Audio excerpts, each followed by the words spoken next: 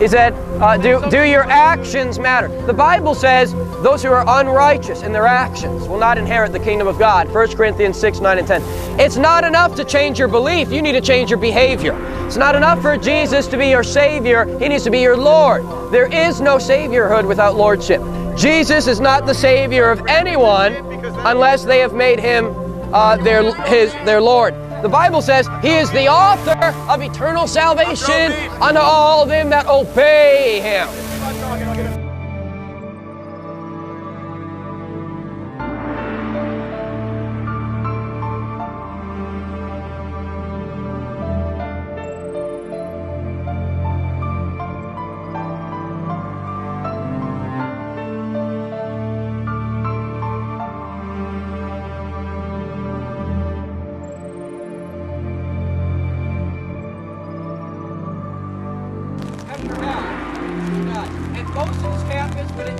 It, doesn't turn from sin, it'll go to hell.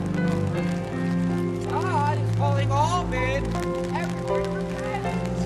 How much this campus to repent? To repent means to change your mind about sinning, change your mind about breaking God's law. That's repent.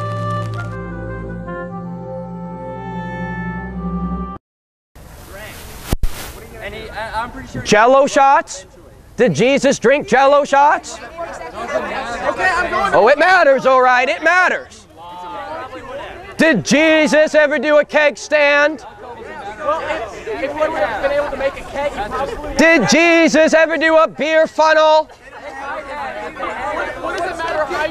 Oh, it matters, it matters.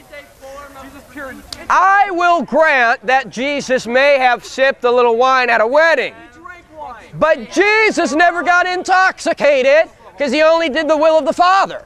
And the Bible says, Be not drunk on wine. Jesus was not a drunkard. He never got drunk because the Bible says he is sinless.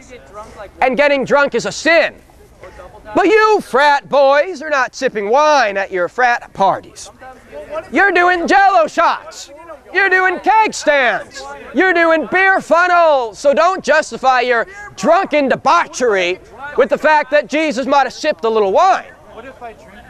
See, that is a logical fallacy to justify your drunken debauchery with the fact Jesus turned water into wine. That's a logical fallacy. Uh, what do you mean by responsibly?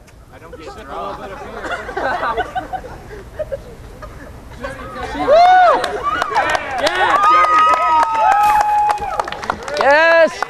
This is what the University of Iowa will do to you. Where in the Bible does it discuss pot smoking? God talks about. I'll get to that in a minute, but he had a question. What if he drinks responsibly? Uh, I drink responsibly.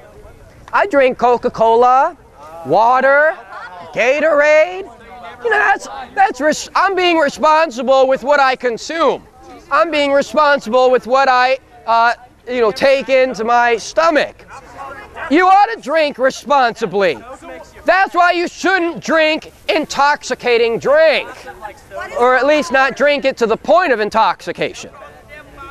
But if you're getting buzzed, or tipsy, or wasted, or smashed, then you're sinning and you're not drinking responsibly. What is wrong with abortionists? Uh, well, you asked about pot smoking first. I kind of gathered that. Okay, well, the Bible says not to smoke marijuana. Where? Yes, it does. Yes, it does. Yes, it does. Bible verse. The, the Bible says not to eat the magic mushrooms. Yes, it does. The, the Bible says not to take pills of ecstasy. Yes, it does. Yes, it does. It does. It does. Now, it, it does not say that in, in name, but in principle it does. In principle, not in name. Uh, the Bible says, be sober minded. That means you're not supposed to get dazed and confused on marijuana. You're not supposed to be all sexually aroused on ecstasy. And you're you're not supposed to get wet on PCP or cranked out on crack. I can think of beer crack is fun. Yeah, I do a lot of my best work The Bible says be sober minded. Because when you think right, you're more likely to live right. And God gave us an intelligence so we could make good moral judgments to make good moral decisions. So God says be sober minded. go to hell because he got drunk in his vineyard. Uh, well, he hopefully repented. I used, I used to be a drunkard. I used to be a pothead. I used to be on my way to hell. But then I repented of my sin, gave my life to Jesus Christ. Now I'm a new man, new person. That's the grace of God in my life. That's the power of Jesus. He can turn sinners into saints. What's wrong with abortion? What's wrong with abortionists? If you have to ask, you're a wicked woman. If you have to ask, what's wrong with killing babies? Have you tried to push a football out of your vagina? Because until you had to, I don't feel like you can say that it's not that it's Hey, if you don't want to get pregnant, don't have sex. That's easy for you to say. You don't get pregnant. My wife, my wife did a noble thing. She had, she had an 18-hour natural back labor. That's pretty noble to me. That's very admirable, admirable. I, I uh, admire that. Uh, she did not sacrifice our baby on the altar of convenience like you're promoting. I was just simply questioning. I'm not saying that I have sex or have abortions. Good. Because you know what's worse than being a promiscuous whore? Do you know what's worse than that? Uh, being a, a baby killing murderer. That's worse. That's worse. It's not enough that many of these college girls want to have sex outside of marriage, Who are we having sex with? but they want sex without responsibility. So if they get pregnant, they go to Dr. Killer and they rip the baby out of the matrix. Well, that doesn't make the baby evil. Doesn't mean the baby should be punished for the sin of the father. If a woman gets raped by an evil man, that child is still innocent and deserves to live. That child does not deserve to die. Now, you can publicly execute the rapist. I'm in favor of that. Okay. But you should not publicly or privately execute the innocent baby. Uh, at least get a good thing out of a bad situation.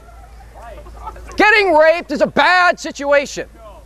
But bringing an innocent baby into this world is a good thing, as opposed to killing it. And uh, you should raise that child as your own uh, because it is your own. Came from your ovaries, came from your egg. It is your own. Uh, I, I praise God that your parents were heterosexuals that were pro life. We are all the product of heterosexual sex. We are all the product of pro life.